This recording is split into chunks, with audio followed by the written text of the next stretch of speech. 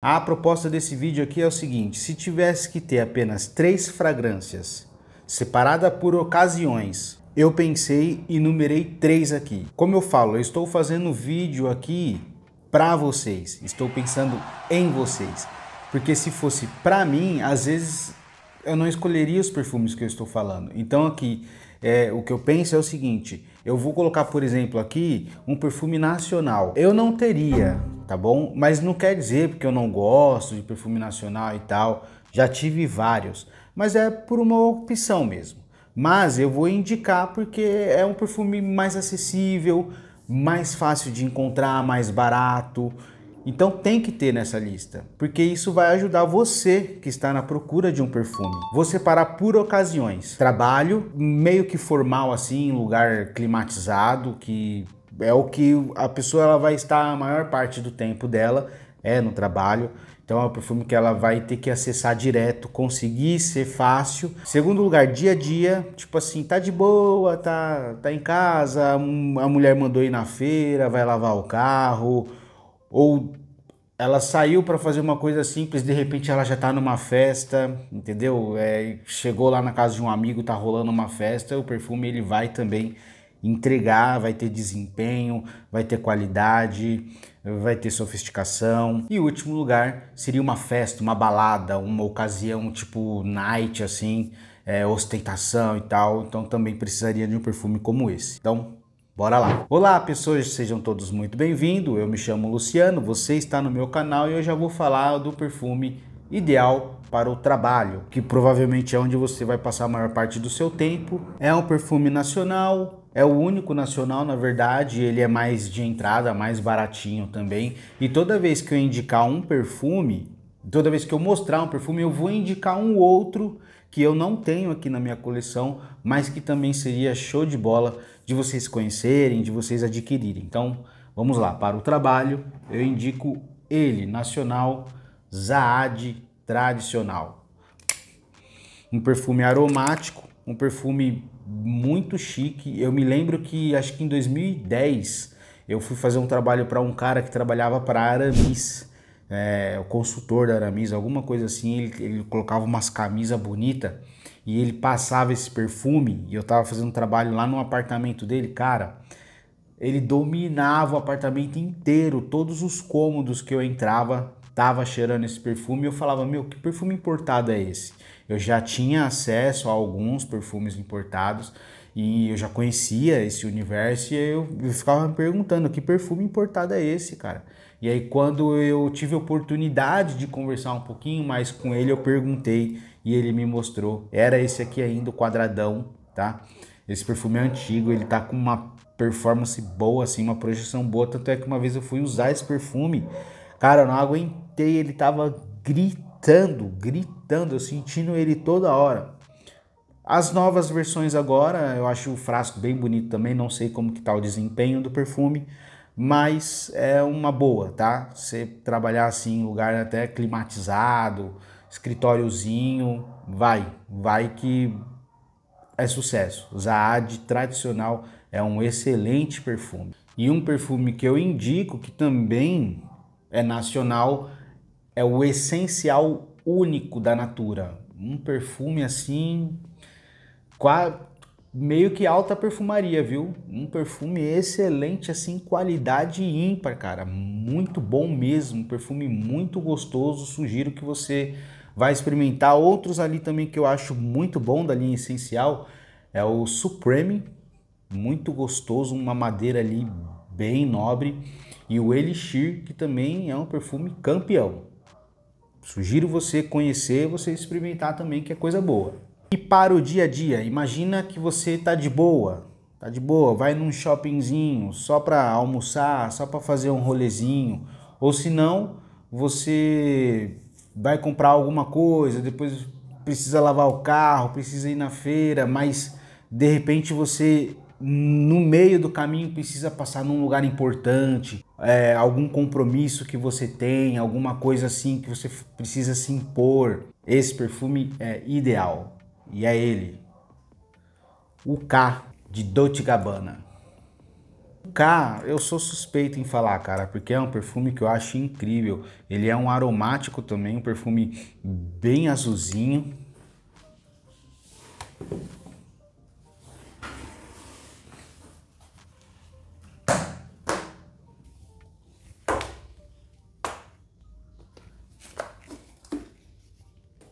Nossa, uma aranha gigante ali. O que eu tava falando? Do K, né? Meu canal tá começando, não faz nem um mês. Caso faça sentido para você, eu peço que, por favor, me ajuda aí.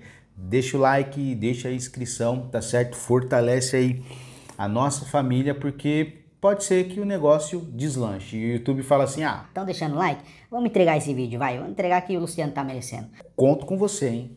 Perfume bem azulzinho, sou suspeito em falar dele porque eu assim que ele saiu, que eu coloquei o nariz nesse perfume, eu amei.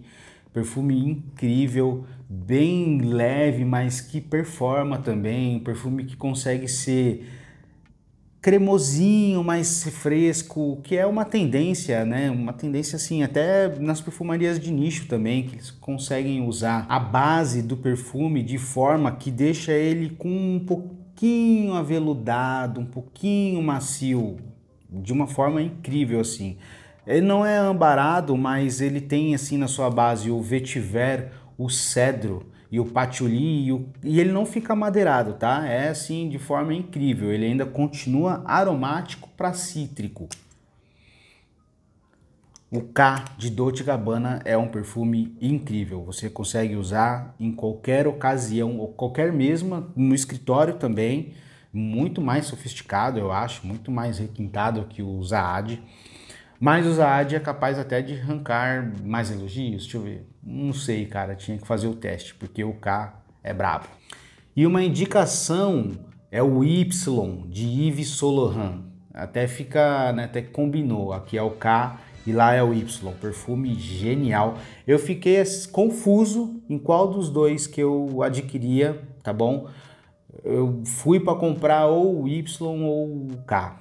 E no meio do caminho eu ia ter que decidir isso. Eu ainda preferi esse, mas fiquei muito confuso. É até difícil de dizer o porquê que eu preferi esse. Eu acho que ele é, é porque ele ainda é um pouco mais limpo. O Y eu acho ele ainda um pouquinho mais elegante que o K. Acho o Y um pouco mais fino, mais alinhado.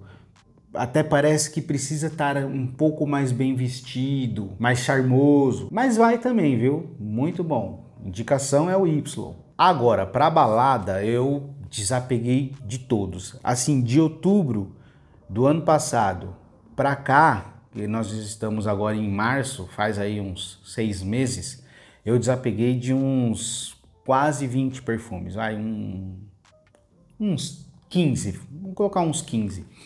A maioria deles era, eram baladeiros, eram perfumes que assim performavam bastante, gritavam bastante, e é aquilo que eu falei no perfume, no vídeo que eu tô deixando aí no iCard de desapego de seis que eu falei. São perfumes que eu não consigo usar ou que minha esposa não gosta.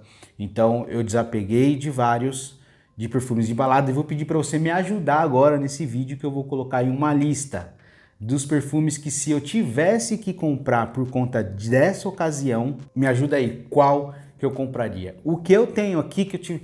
Assim, é amanhã, precisa é amanhã, eu ia ter que usar o Armani Code, tá? Conforme falei para vocês, ele ficou até aí na lista de mais elogiados. Imagina assim, beleza, tô indo para balada, mas antes vou passar na casa é, da, da, minha avó para comer um bolinho lá, tem alguma coisinha lá. Ele vai também, entendeu? Porque se eu for lá fazer esse esquenta e depois ir para balada, de boa, cara, porque ele não vai incomodar. Agora tem perfume que se eu tiver que passar antes num lugar como esse, ele vai causar tiver poucas pessoas ali ainda, vai causar, às vezes vai incomodar alguém. Esse aqui já não faria isso, tá? Mas vamos supor que não rola isso, não tem isso. Vou colocar a lista aí e aí me diga qual desses perfumes que nós teríamos que os que, que eu teria que comprar, tá? Estudando aí, analisando.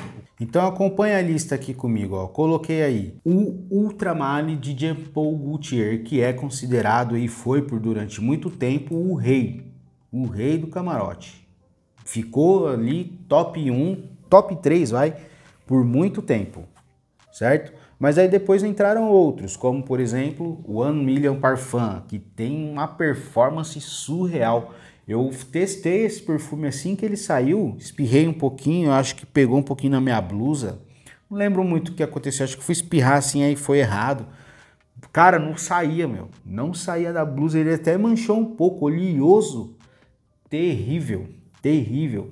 Esse One Million Parfum, ele grita.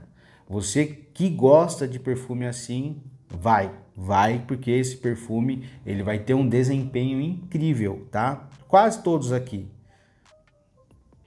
Um outro, o Versace Eros, o, a versão EDT, muito gostosa.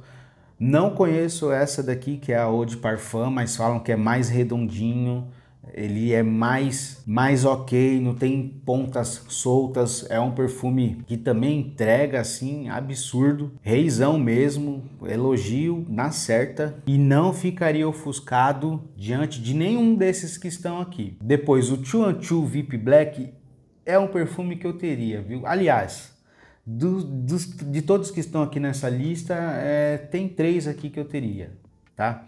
Chuanchu VIP Black eu acho que ele é um perfume que consegue ir para balada, consegue fazer isso, mas daria também para passar na casa da avó antes, tá? É um perfume legal, um perfume macio, redondinho, muito gostoso, também fácil de agradar e tranquilinho até. Esse Scandal é o Le Parfum, tá?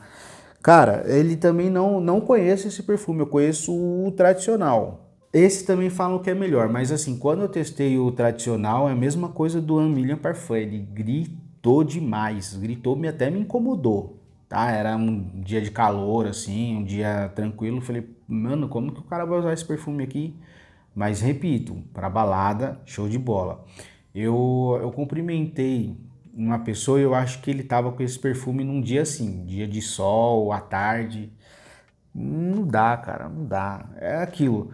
Se você vai lavar o seu carro e aí você abre o seu guarda-roupa, tá lá um terno, uma gravata, um sapato, e do outro lado tá uma camiseta e uma bermuda, você vai em qual roupa para lavar o seu carro? Porque a ocasião pede, certo? Então você iria aí na bermuda e na camiseta. Para sair assim, você vai no mercado, você não dá para você passar um escândalo, velho. É isso que as pessoas precisam entender. É claro, o dinheiro é seu, você é você, você usa o perfume que você quer. Não tô, não tô aqui dizendo ou ditando o que você tem que usar. Mas não seria melhor um assim? Seria melhor um assim. Entendeu? Nessa ocasião você trabalha com serviços, vai fazer o serviço aí na casa de alguém. Às vezes a pessoa nem gosta de perfume, mais tranquilinho, aquele perfume mais intimista. E eu acho que esse daqui seria muito bom para você que trabalha com serviços, tá? Nessa linha aqui, o Y também vai. Tem até umas versões mais fresh do Y, o de tampinha branca, que eu acho que é o fresh ou light, light, alguma coisa assim, live, enfim. E é isso aí. Vai devagar, tá? Se você tiver quebrado, sem grana, sugiro aí o Egeu Bomb Black. É, porque você sabe, né? é grana, não, às vezes o, orçamento não dá. E esse é o perfume que vai conseguir se comportar muito bem. Perfume docinho, ambarado, com caramelo show de bola, seguindo a tendência aí de vários desses perfumes que eu estou mostrando, perfume completamente para isso também, mas que às vezes tenta trazer um certo frescor, uma bergamota, uma hortelãzinha, uma maçã. É um perfume muito bom, muito bem construído. Os outros dois que eu teria se tivesse com grana no bolso, seriam esses da Parfums de Marly, que é o Leighton e o Pegasus Exclusive, que eu vejo assim, eu não conheço, mas eu vejo assim nas resenhas, deve ser incrível. Obviamente que a Parfums de Marly ela faz perfumes um pouco mais comerciais, voltados para o público mesmo em geral, só que com uma qualidade acima da média. Então eu fico pensando, né, como seria a qualidade desse perfume. Gostaria muito de poder tê-los. Ainda não, não dá, né? Não tenho tempo, mas é perfume mais de dois mil reais. Se dinheiro não fosse problema, esse daqui tá, já estava na coleção faz tempo. Um outro muito gostoso é esse Invictus Victor, sem contar que ele é lindo, Muito gostoso, muito gostoso mesmo esse perfume. Esse perfume aqui é um arraso, velho, um arraso. Eu lembro que eu fui lá na, na Renner e aí eu perguntei pro cara lá, pro vendedor, se você pudesse escolher agora um perfume, qual que você escolheria? Ele falou esse Invictus. Eu falei, cara, esse perfume realmente é muito bom, muito gostoso. E esse Azarro de Most Wanted também, incrivelmente popular. A galera pira nesse perfume, também não conheço, mas conforme eu falei, eu estaria estudando a possibilidade de ter algum desses aqui. Tá certo? Então, para que o vídeo não se estenda mais, eu quero já agradecer desde já. Deixa aí o like, deixa aí a sua inscrição. Obrigado por ter ficado até aqui, tamo junto e é nóis!